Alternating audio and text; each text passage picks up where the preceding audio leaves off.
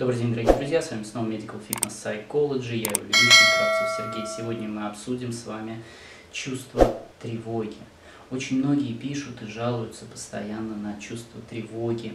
И чаще всего причиной этому является генерализованное расстройство личности. Это то, когда вы э, постоянно пытаетесь предупредить какие-либо проблемы или какие-то нехорошие события в вашей жизни. Вы боитесь, э, что наступит пожар, вы выходите из дома, вспоминаете, а выключили вы утюг или не выключили. Вы э, боитесь заболеть. Вот у меня есть э, один яркий случай. Девушка очень боится заболеть онкологией.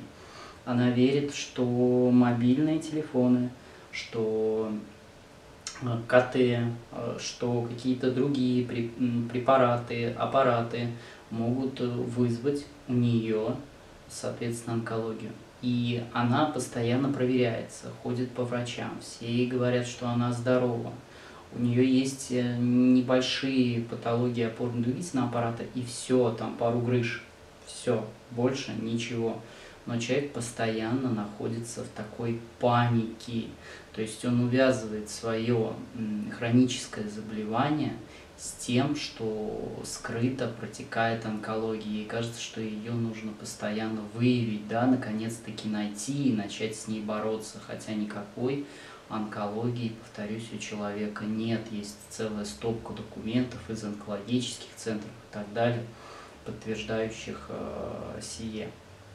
Значит, а, что такое, как это может еще выражаться, да, это чувство переживания за собственного ребенка, что с ним что-то случится, то есть вы постоянно думаете о том, что что-то может произойти с вашими детьми, вы постоянно звоните и тем самым, возможно, даже травмируете ребенка, да, потому что э, мама себя накручивает, она уже на взводе, она выражает как дополнительное давление к этому ребенку.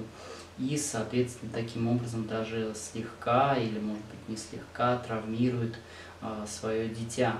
И э, с этим нужно бороться, дорогие друзья. И тема то, как бороться с э, тревожными расстройствами, я обязательно сниму отдельно но если вам это интересно, на сегодняшний день я хотел бы услышать от вас, что для вас эта тема знакома. Есть ли на канале среди моих подписчиков люди, которых беспокоит это тревожное расстройство. Но оговорюсь сразу, что в достаточно запущенных случаях это все тело должно корректироваться не только э, занятиями с психологом, но и хотя бы употреблением легких седативных средств.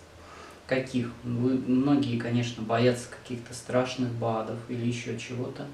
И мы начинаем обычно с такого ритуала, да, мы начинаем э, выбирать какое-то время, когда мы расслаблены, и мы пьем ромашковый чай. И вообще ромашковый чай, в принципе, ну, достаточно такое э, хорошее седативное средство в плане того, что э, вы его можете пить ну, достаточно часто, и, э, соответственно, это определенный ритуал, который позволяет вам при должном настройке, при должной вашей настройке успокоиться.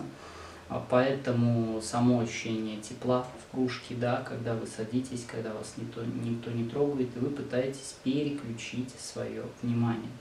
Подробнее об этом я планирую снять выпуск. И, конечно, в некоторых случаях возможно употребление афобазола, это уже такой препарат седативный, ну, достаточно э, легкого э, такого действия, но, тем не менее, здесь уже нужно соответственно, указания врача. Ни в коем случае не назначайте сами себе седативные препараты. Дорогие друзья, будьте здоровы, подписывайтесь на канал, ставьте лайки и опишите мне ваше чувство тревоги, что вас беспокоит. А я, основываясь на ваших комментариях, сниму следующее видео. Да пребудет с вами здоровье!